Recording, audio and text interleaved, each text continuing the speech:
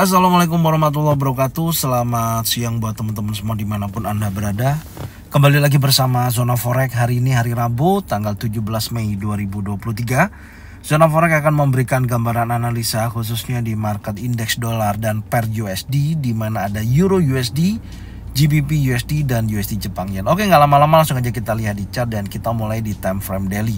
Untuk perkembangan indeks dolar sampai dengan posisi saat ini ya.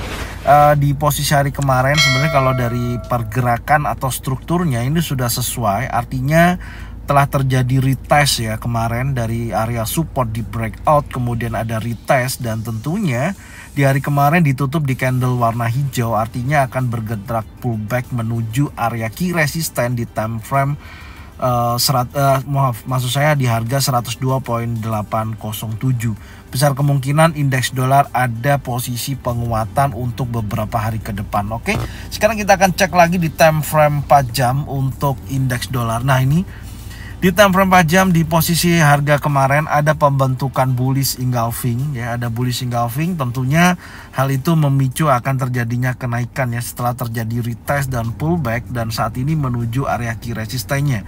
Secara struktur menurut saya masih dalam posisi yang sesuai ya. Pergerakannya akan bergerak naik tentunya eh, yang paling terdekat akan menguji key resisten di 102.8 07 eh, sampai dengan nantinya akan menguji level berikutnya sampai di area high monthly yaitu di 103.58. Gambaran saya untuk indeks dolar posisi sampai dengan hari ini akan ada penguatan uh, dan menguji kuat wilayah area key resisten di 102.8. Oke, ini dari indeks dolar ya tentunya akan berpengaruh kepada uh, euro USD bahkan GBP USD. Oke, sekarang kita akan cek lagi di market euro USD kita lihat di time frame daily ya.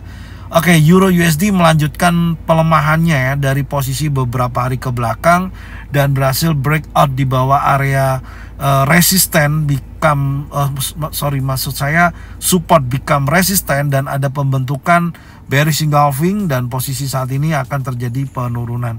Oke, ini saya hapus dulu. Dan kalau kita perhatikan posisinya di hari kemarin sudah terjadi retest ya ini posisinya udah retest dan posisi terakhir ada pembentukan candle bearish meskipun kalau kita perhatikan masih bergerak konsolidasi ya tidak menunjukkan aksi penurunan yang sangat signifikan. Masih tertahan di area konsolidasi untuk time frame daily. Oke sekarang kita akan cek lagi di time frame yang lebih kecil yaitu time frame 4 jam Oke, kalau kita perhatikan di time frame 4 jam memang dorongan sellernya lebih kuat ya di posisi hari kemarin terlihat di sini ada three inside down dan kemudian harga memang masih bergerak di area konsolidasi yang sudah saya gambarkan kemarin. Sempat menyentuh area resisten tapi tidak mampu bergerak naik lebih tinggi atau sudah sebenarnya sudah memasuki zona sell ya. Dan posisi sekarang menurut saya akan menguji area uh, support di hari kemarin ya yaitu bertepatan dengan area konsolidasi bawah di 1.08551. Hal tersebut akan diuji sekali lagi dengan posisi seperti ini. Tentunya saya akan menunggu posisi uh, untuk entry ya yaitu entry zona buy di posisi ini. Tapi saya akan menunggu nantinya. Sebentar jadi ini saya akan uh, sedikit rubah ya posisinya. Ini saya akan geser seperti ini dan saya akan menunggu uh, pergerakan daripada uh, euro USD ya uh, memasuki area zona buy baru saya nanti akan buy di wilayah tersebut. Jika mana ada bullish engulfing, bullish pin bar, three inside down, oke okay, maka akan menunjukkan potensi eh sorry three inside up ya maksud saya maka akan menunjukkan kenaikan berlanjut dan posisi saat ini masih berada di area konsolidasi tidak ada perubahan ya sampai dengan uh, memasuki sesi Eropa saat ini oke okay? Ini aja yang bisa saya sampaikan untuk Euro USD. Kita akan berlanjut di market GBP USD.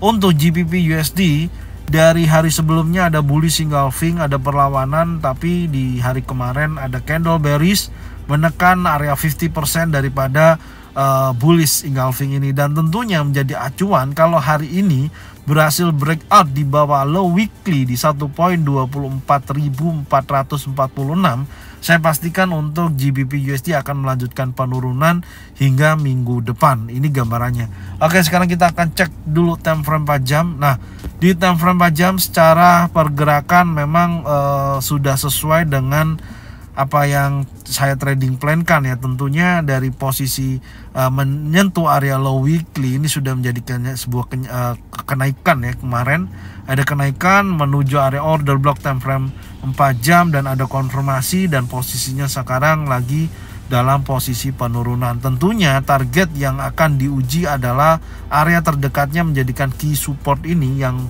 sampai dengan posisi saat ini belum berhasil di breakout yaitu di kisaran 1.24356. Hal tersebut yang menjadikan titik uji hari ini.